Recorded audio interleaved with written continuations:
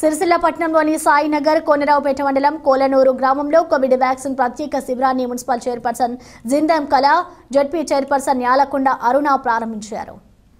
ఈ సందర్భంగా జిల్లా పరిషత్ చైర్పర్సన్ యాలకొండ అరుణ మాట్లాడుతూ మంత్రి వర్యులు కేసీఆర్ గారి ఆదేశాల మేరకు పద్దెనిమిది సంవత్సరాల వయసు నిండిన ప్రతి ఒక్కరూ వ్యాక్సిన్ వేసుకోవాలని అన్నారు. ఎటువంటి అపోహాలకు పోకుండా అర్హులైన ప్రతి ఒక్కరూ వ్యాక్సిన్ వేసుకోవాలన్నారు. జిల్లాలో ఇప్పటి వరకు రెండు లక్షల అరవై ఆరు వేల మంది వ్యాక్సిన్ వే- తీసుకోవడం జరిగిందన్నారు. మిగతా తొంభై ఐదు వేల మందికి వ్యాక్సిన్ ఇవ్వడం జరగాల్సి ఉందన్నారు. వచ్చే వారం రోజులలో సరైన ప్రణాళిక తయారు చేసుకుని అర్హులై మిగిలిన వారందరికీ వ్యాక్సిన్ ఇచ్చేలా చర్యలు తీసుకోవాలన్నారు. ఈ కార్యక్రమాలలో కౌన్సిలర్లు Reddiya Naik Mahender Kolanuru sarpanch Tummala Yamuna MPTC Istari Praveen Kumar DMHO Suman Mohan Rao Konaraopet MPEO Ramakrishna మరియు అధికారులు పాల్గొన్నారు.